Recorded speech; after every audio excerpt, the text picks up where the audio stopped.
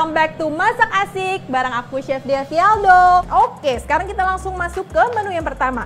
Kari bola daging ala sasa santan. Caranya gimana? Ini dia. Langsung kita masuk ke bahan-bahannya. Oke, untuk bahan-bahannya di sini aku pakai ada daging sapi yang dicincang. Ini dia daging sapi. Terus habis itu uh, selain itu kita juga membutuhkan bumbu halus. Bumbu halusnya apa aja? Pertama ada ini nih, ada cabai merah besar, terus juga ada kunyit yang sebelumnya dibakar. Kita tambahin juga nih cabai rawit merah, ada bawang merah, ada bawang putih, terus juga ada jahe sama lengkuas dan juga di sini ada kemiri. Kemirinya udah disangrai. Terus habis itu nanti aku tambahin juga ada jinten, ada ketumbar. Terus habis itu jangan lupa untuk numis nanti aku tambahin ada cinnamon atau kayu manis. Terus habis itu ada daun salam, ada daun jeruk, terus juga ada batang serai. Lalu bahan lainnya di sini aku juga pakai ada bubuk kari, ada ketumbar bubuk. Terus jangan lupa untuk seasoningnya ini yang udah pasti harus banget kalau misalnya kita lagi masak nih tiga ini harus banget ada. Pertama ada merica, terus habis itu ada juga garam, dan juga gula pasir. Dan ini yang paling penting nih, nggak akan ada masakan ini kalau nggak pakai ini. Ini dia guys, sasa santan aslinya santan. Di sini aku pakai sasa santannya yang satu sachet ukuran 80 gram. Jangan sampai salah, yang ukuran 80 gram. Kenapa sih kita harus pakai uh, sasa santan bubuk? Karena ini tuh praktis banget guys, asli. Tinggal tabur dan juga sasa santan ini mengandung fiber. Buat ibu-ibu nih, buat cewek-cewek yang khawatir takut gendut, lagi diet, apa segala macam, nggak usah takut. Pakai ini aja karena dia mengandung banyak fiber. Jadi baik untuk kesehatan pencernaan. Yuk langsung masuk. Oke, bumbu halus di sini aku pakai blender untuk bumbu. Bumbu halusnya kita mau masukin di sini cabai merah besar. Oke, kita sekarang tadi aku udah masukin cabai-cabean. Abis itu kok cabai-cabean kayak kon konotasinya agak jelek ya. Yaudah, aku pakai dua jenis cabai tadi. Terus habis itu kita masukin juga kunyit. Jangan lupa kemirinya yang udah disangrai. Terus habis itu ada jahe juga sama lengkuas. Bawang merah, bawang putih. Oke, habis itu di sini aku mau masukin jinten. Dan yang terakhir aku mau bumbui sedikit garam. Pokoknya aku tuh uh, konsepnya kalau misalnya aku lagi masak, aku akan bumbui semua layer masakan aku dikit-dikit. Jadi kita kasih garam di semua bumbu itu sedikit demi sedikit supaya nanti nggak terlalu apa namanya nggak terlalu asin atau juga nggak kurang bumbu.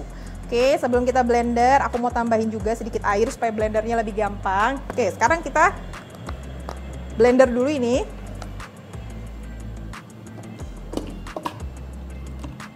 Sambil kita menunggu bumbu halusnya, di sini dagingnya mau aku bumbuin dulu nih. Pertama aku bumbuin pakai sedikit garam. Terus habis itu juga aku kasih sedikit merica. Sama aku kasih bubuk kari. Bubuk kari nggak usah banyak-banyak, kurang lebih setengah sendok makan aja. Di sini dagingnya kita campur semua sama bumbunya.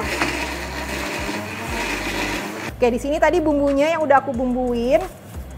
Kita ambil dagingnya kurang lebih satu sendok teh. Nah, kayak gini. Habis itu kita bentuk bola-bola. Kayak bentuk perkedel gitu guys. Dan bentuk bola-bola. Kayak gini. Nah kayak gini guys. Oke. Sekarang aku mau lanjutin. Yang pertama buat masaknya itu kita di sini masukin sedikit minyak ke dalam wajan. Oke. Sekarang kita mau tumis bumbu halusnya ya. Kita tumisnya ini bakal sama si kayu manis dan juga sama ini nih, sama daun salam, daun jeruk dan juga serai. Tapi sebelumnya kalau misalnya kita mau tumis uh, serai itu, serainya harus kita geprek dulu ya guys, uh, biar aromanya tuh lebih keluar. Jadi sini serainya aku ambil satu, habis itu aku geprek. Hmm, ah, jadi geprek kayak gini supaya nanti aromanya lebih keluar. Dan di sini kayaknya minyaknya udah panas, jadi aku mau tuang ini. bumbu halusnya. Itu jangan lupa tadi kita masukin serai yang udah digeprek. Lalu ada daun salam kurang lebih dua lembar sama daun jeruk dua lembar. Dan jangan lupa juga di sini aku mau masukin satu batang cinnamon atau kayu manis. Hmm, wanginya ya ampun, enak banget. Kalau misalnya kita lagi masak uh, makanan yang menggunakan bumbu halus kayak gini, penting banget kita tumis bumbunya itu sampai benar-benar harum atau matang guys. Karena kalau misalnya bumbunya uh, belum matang, terus habis itu kita udah masukin bahan-bahan yang lain, nanti berakibat makanannya itu akan bau langu atau kayak agak-agak bau-bau mentah dan juga masakannya jadi nggak tahan lama atau cepat basi gitu jadi ini benar-benar harus kita masak sampai matang dan juga sampai harum Cara tahunya udah matang gimana? Dia warnanya akan berubah, warnanya jadi lebih kecoklatan dan juga harumnya juga pasti udah beda. Oke, sekarang bumbunya udah matang, kita masukin air. Ini dia nih yang nggak boleh kita lupa. Kita taburkan sasa santan bubuk. Jangan lupa aku pakai yang ukuran 80 gram.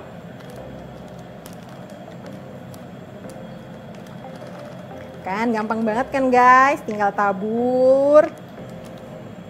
Saatnya kita move on ke sasa santan. Santan terindah yang mengandung fiber yang baik banget untuk kesehatan pencernaan. Habis itu sekarang nih kita aduk-aduk santannya sampai rata. Oke, sambil kita aduk-aduk.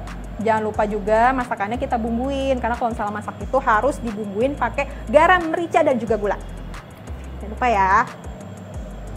Gulanya seberapa, garamnya seberapa, sesuka selera. Dan yang terakhir jangan lupa juga kita masukin daging yang tadi udah kita bulet-buletin. Oke, di sini uh, aku bikinnya ini karinya agak-agak encer, tapi kalau misalnya buat kalian yang pengen karinya lebih kental lagi, bisa banget tinggal dipanasin lebih lama lagi sampai dia airnya benar-benar menyusut. Kita taruh, ini enak banget nih guys.